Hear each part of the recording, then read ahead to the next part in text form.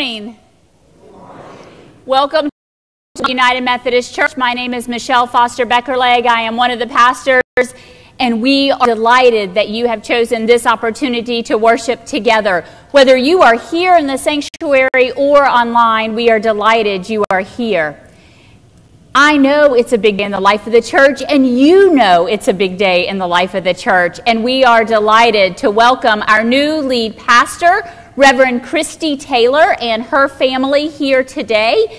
And I hope that at the conclusion of this service, you will make opportunity to introduce yourself.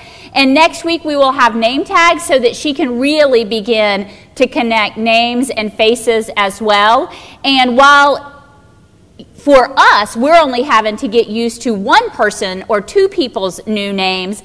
Remind, just a reminder to all of us that she's trying to learn hundreds of names. And so please introduce yourself every time you speak to her um, so that she can have a clue who you are and try and make connections. It's always a wonderful act of hospitality.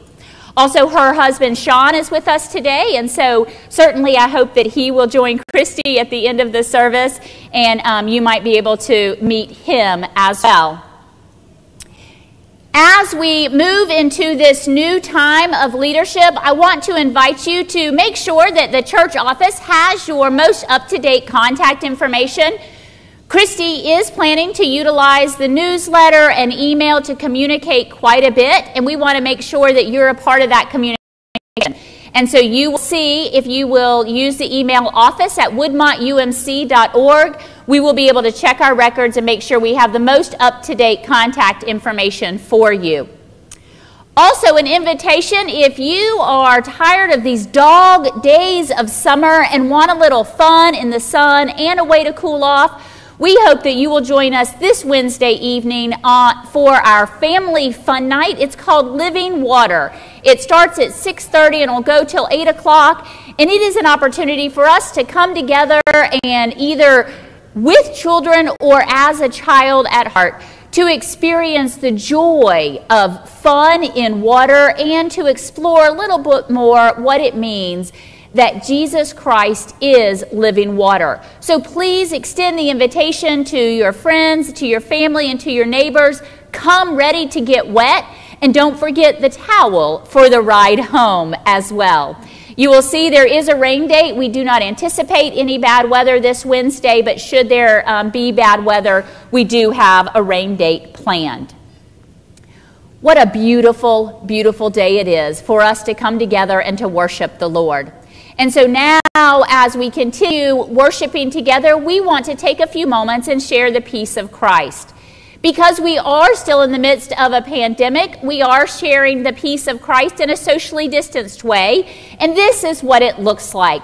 First of all, when we stand, we're going to give ourselves a great big hug, reminding ourselves we are loved by God and that we have the peace of Christ within us, and then we're going to turn and share that with one another. And so it is the peace of Christ be with you and also with you. Would you please stand as you are able and let us share the Christ, peace of Christ?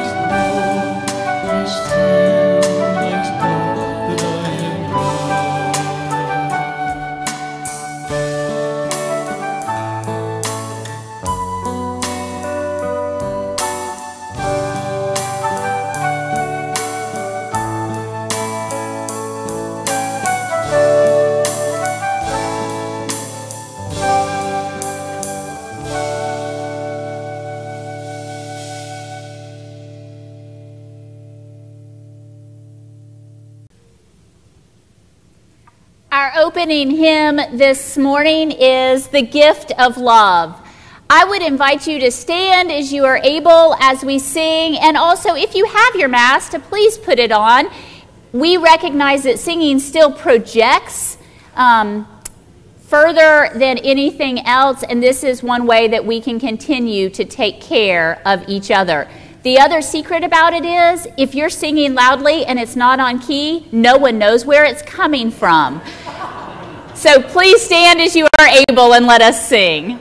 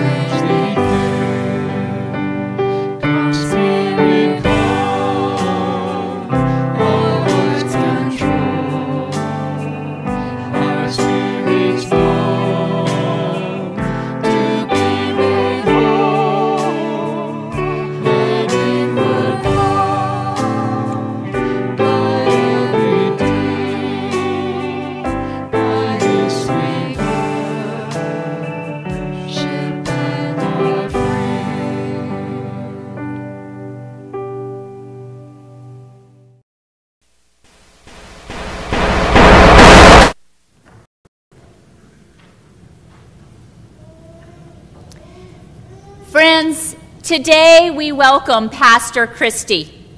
Through prayerful discernment of her gifts and graces, Bishop Paul Leeland and the cabinet have sent her to serve, lead, and love among us as our lead pastor.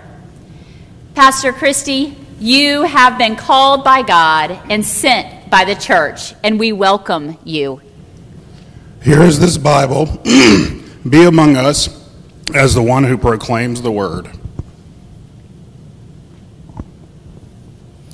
With this water, baptize new disciples and help us remember our baptismal vows. Call us together around the table of grace as we remember and give thanks for Christ's body and blood. As a United Methodist Church, help us order the ministries of Woodmont UMC in such a way reminded we are a connectional church. Just as Jesus exemplified what it means to be a servant, lead us as a servant to be servants for all.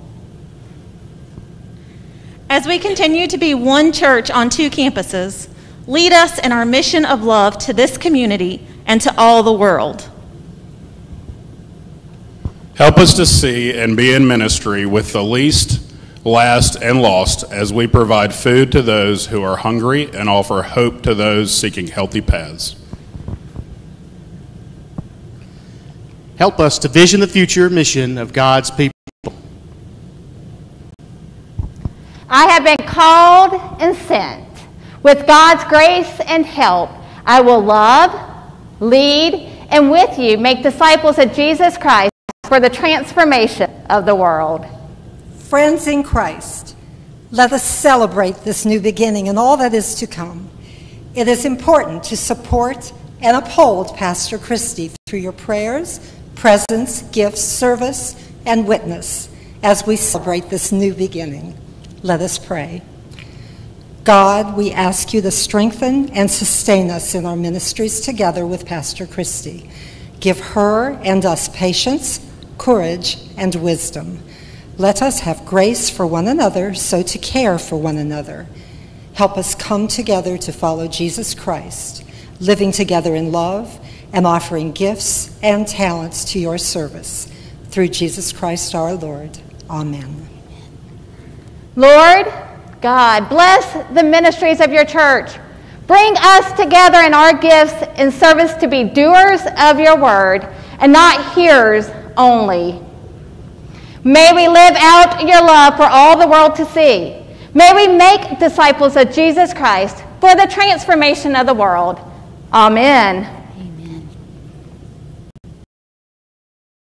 Your love for God has been made evident this week through your tangible gifts of hospitality and welcome to Reverend Christi Taylor and her family. May we continue this attitude of gratitude for all of God's blessings as we cultivate a life of faithful stewardship. As we begin a brand new week, where is God inviting you to be prayerfully present with God and with others this week? How is God asking you to use your financial resources to support the ministries of Woodmont United Methodist Church? Where will you offer yourself in God's service this week? How will you extend extravagant generosity to another in the days that lie ahead? May all of the gifts tithes, offerings, and worship that we bring this day bring honor and glory to God, now and forever. Amen.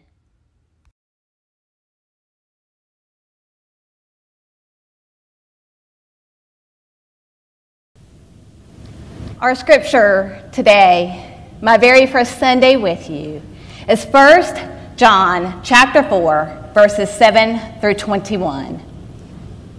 Beloved, let us love one another, because love is from God. Everyone who loves is born of God and knows God. Whoever does not love does not know God, for God is love. God's love was revealed among us in this way. God sent his only Son to the world so that we might live through him. In this is love.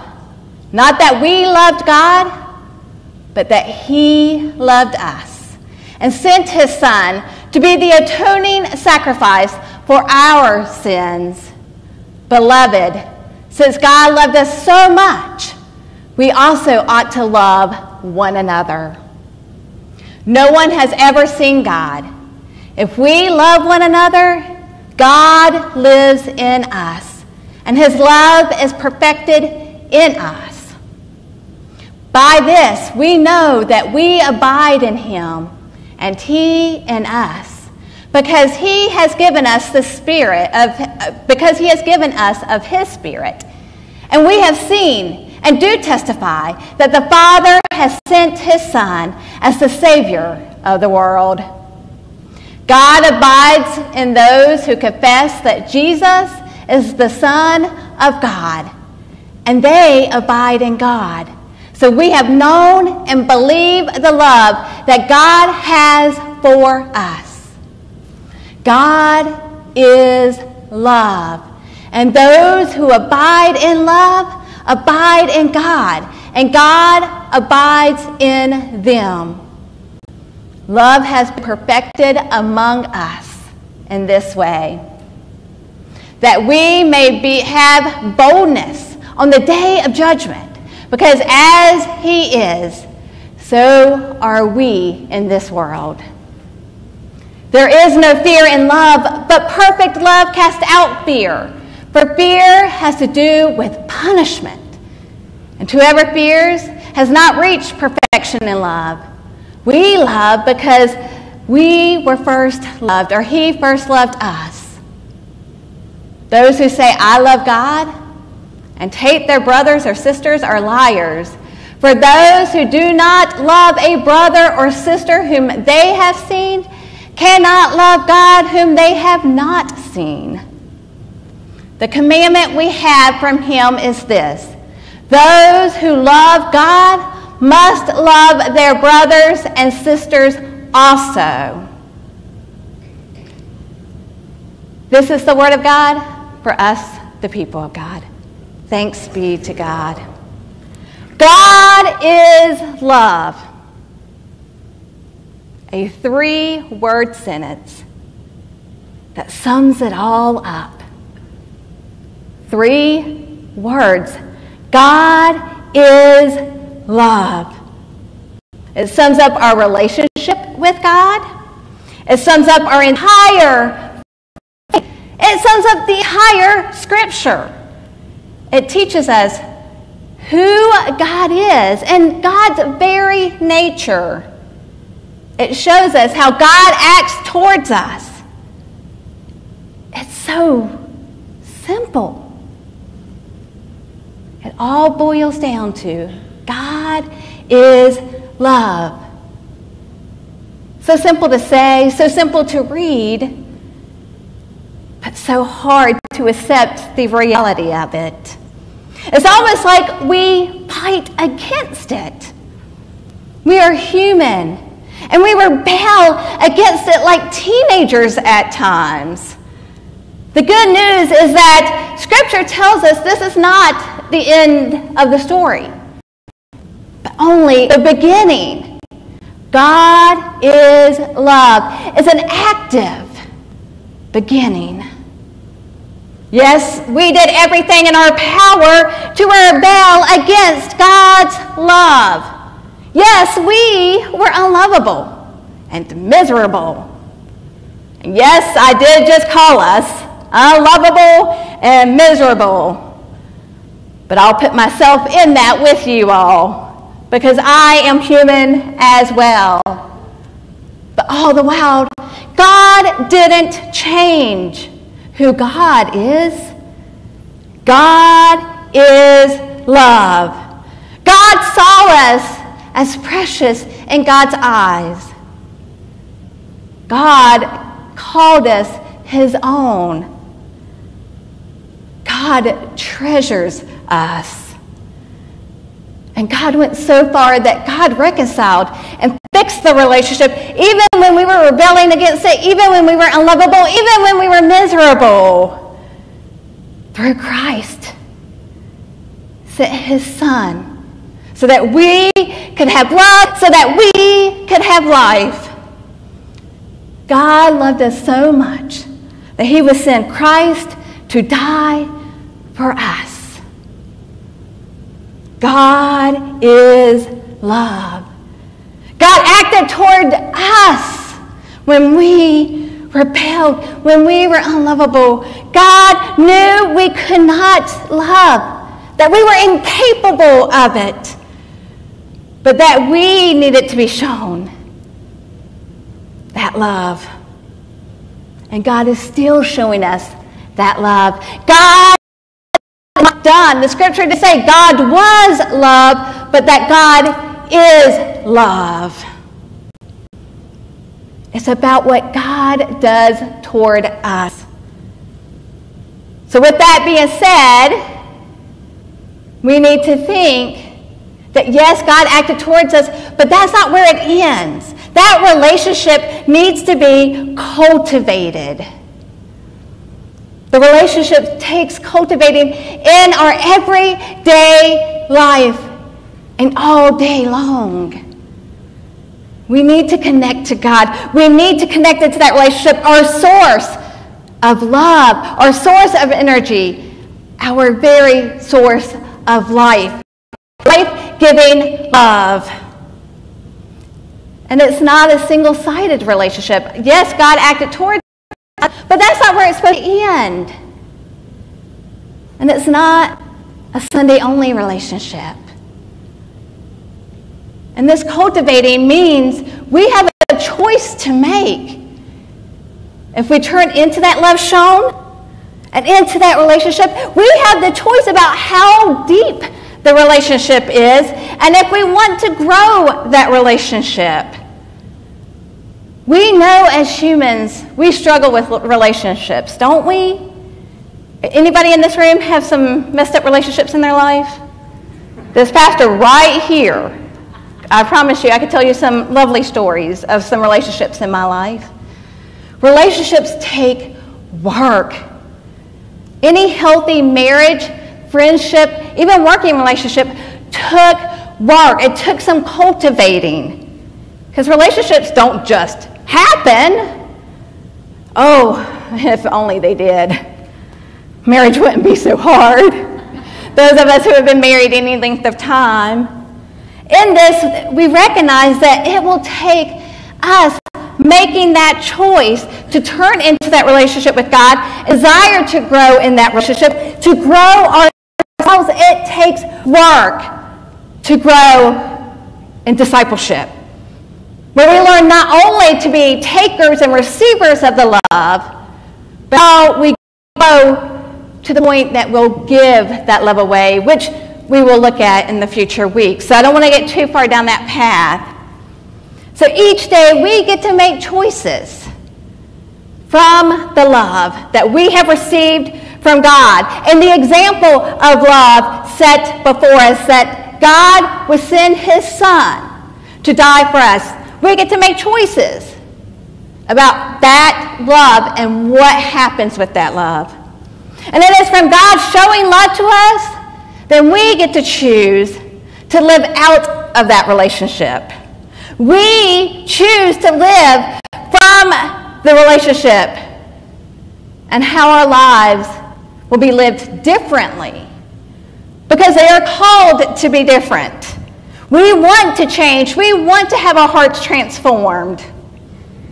It is when our hearts and lives are open that the transformation that Christ begins in us continue. We become all new creations as Scripture tells us. If anyone is in Christ, there is a new creation. Everything old has passed away. See, everything has become new. So God showed us love and gave us the example of love through Christ. So let's think about what Scripture tells us, what that love looks like. The example, the exact example set for us. It looks like Jesus eating with sinners. It looks like Jesus touching lepers. It looks like Jesus feeding the multitudes. It looks like Jesus saying, Go and make disciples until the ends of the world, baptizing them in the name of the Father, Son, and Holy Spirit. It looks like Jesus holding a stone saying, Let anyone among you who is without sin cast the first stone at her. It looks like Jesus washing feet. It looks like Jesus breaking bread and sharing the cup. It looks like Jesus eating with Judas, knowing what Judas had done and what would happen later that night. It looks like Jesus saying to the Father, Forgive them, for they know not what they do. It looks like Jesus saying, You will be with me in paradise. It looks like a death of criminals on a cross and it looks like an empty tomb. This love frees us from those things that bind us and hold us and oppress us. This love frees us so that we can live the life that is given through Jesus Christ and live in joyful obedience and be able to have life that is life. This love frees us so that we don't have to live in fear, fear of punishment, as today's scripture says. That we get to live in and out of love. It is like a weight being lifted from your shoulders this very day. It is when God's love can freely flow in and through you and an open vessel. This is when we will know God in a deep and intimate relationship. It is when we are open to God and know God in the depths of our soul. It is that you have the assurance that you can confidently know that you are in His hands. You are a child of God and named by God, and you are precious. It is when you know the scripture to be true, how you are adopted. And that Jesus died for you. It is when you live in the abiding relationship that is written by in the scripture where it said, God lives within you. To abide means to be at one with. And it is when you feel how you are at one with God as your Father. And the holiest of relationships. And you are connected in that relationship. This becomes the foundation of who we are. And it becomes our identity. This becomes the foundation of how we function in life and how we live out in life. It becomes what people see and experience of us. People don't have to wonder if you're a Christian or a Sunday only Christian because they see it and know it through you. They know that love. They know that God is love is part of you. It is when you know this love as God breathing into you and the relationship gives life. And you are full of life. It is how you have that joy, joy, joy down in your hearts that we all learned about when we were so very small. This love brings life. And as those who come alive in love, we let this love move us and flow through us.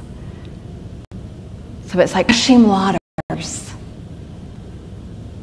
And it's, we are so full of this love that has nowhere to go but overflow through us out to the world and to others. And next week, we're going to look at tangible ways of that love flowing in us and through us and just overflowing. So today, we remember how God proved God's love to us, even when God didn't have to. Even when, like I said, we were unlovable and miserable. The gift of love in Christ. God proved how God's loved us and changed the whole world forever. God's love changes the world and is changing history and even history right now. So when you think that love doesn't matter, I want you to remember how much you were loved and what it did in your life. And when you think that love can't change things, well, Scripture tells us differently that it changed the whole world for all time, forever. Because that's why we're here, is to remember that love and then to share it.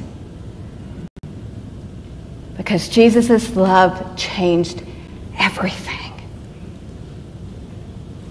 That's who we are as beloved children of God. That God so loved the world that he sent his only begotten Son to die to show love so that all may experience that love, the whole world. And the challenge that is we work to do, but we're going to be doing it together because the whole world has yet to know his love. The mighty power, time changing, history changing love. In the name of the Father, Son, and Holy Spirit. Amen.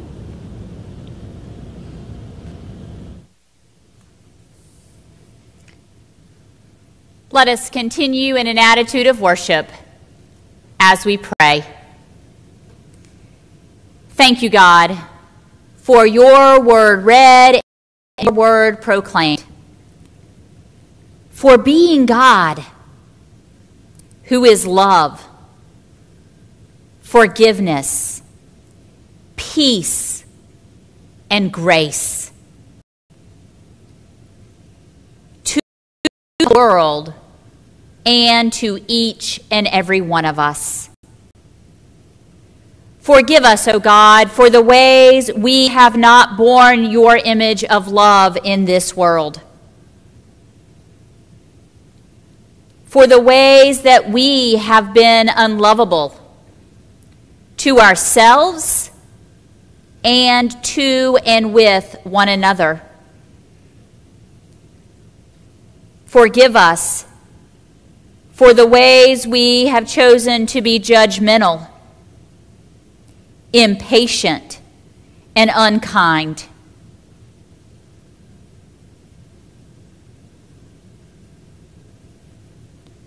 Holy and loving God, hear our confessions today. We come laying our heart and our lives before you.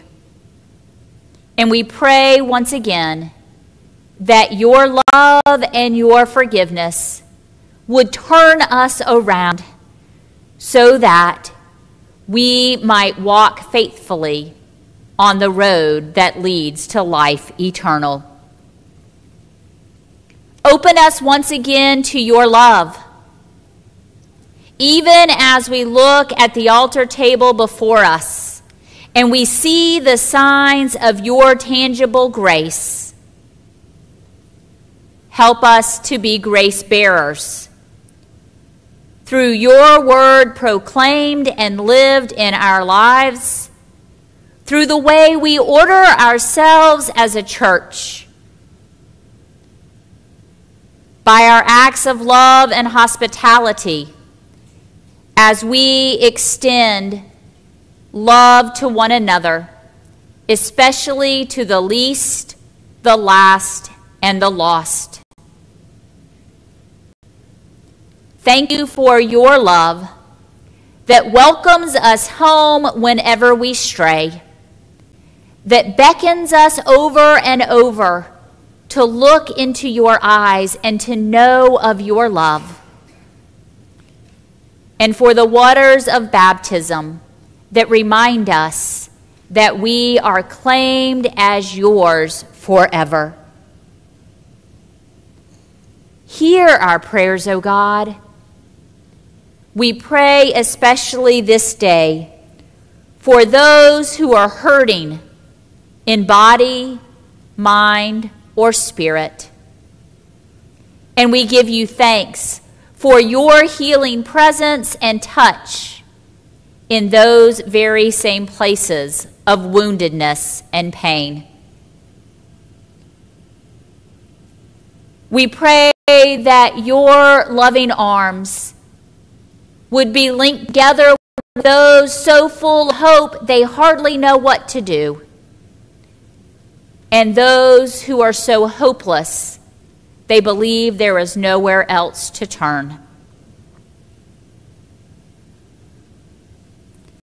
Hear our prayers, O God, for those who are worried, for themselves, for those they love, for the community, for the world. Remind us that your gift of love is showered upon each and every one.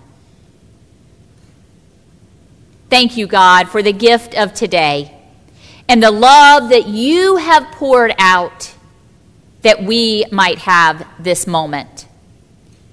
And for the love that is binding us together in person and online as we lay claim to the goodness of God. Thank you for Christi and for the gifts that she brings, for her humble spirit, and for the message of love that seeks to create a pathway that all might know love through her and through your great church. Bind our prayers together, spoken and unspoken, as together we now pray your prayer, the Lord's Prayer. Our Father, who art in heaven, hallowed be thy name. Thy kingdom come, thy will be done, on earth as it is in heaven. Give us this day our daily bread, and forgive us our trespasses, as we forgive those who trespass against us. Lead us not into temptation, but deliver us from evil. For thine is the kingdom, and the power, and the glory, forever. Amen. That love that Christi was just speaking about, God's love, it's kind of a reckless love in that it knows no bounds and it's poured out over and over for us. So, as we prepare to go into this world, I invite you to stand as you are able. Put your mask back on because we sang much louder with our mask on. And let us together join in the words of the song, Reckless Love. Let us stand and sing.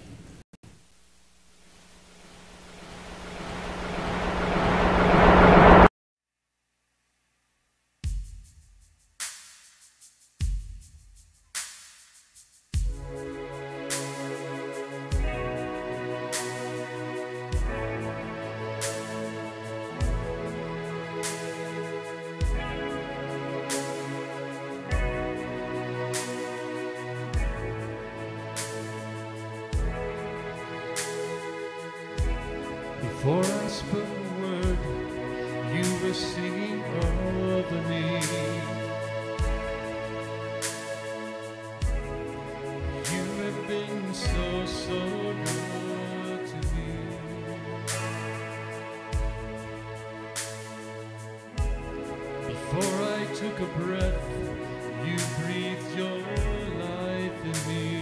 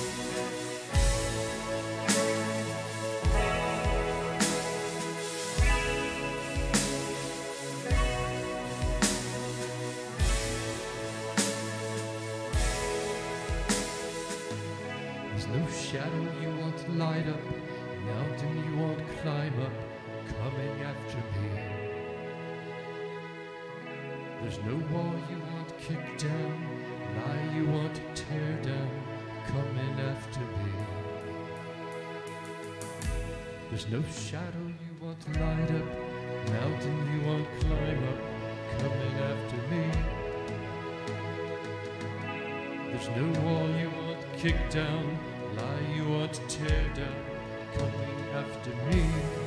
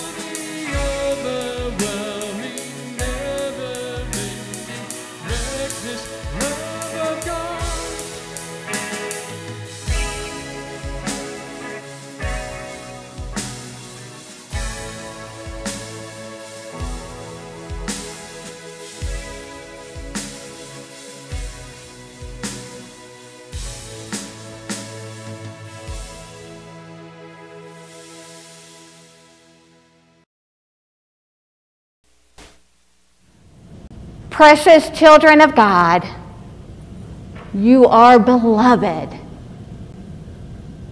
Let that sink in this day so that you may know how precious you are, so that we can share that with others in need of knowing the love of God for themselves. Be freed in this love because you are loved. Amen.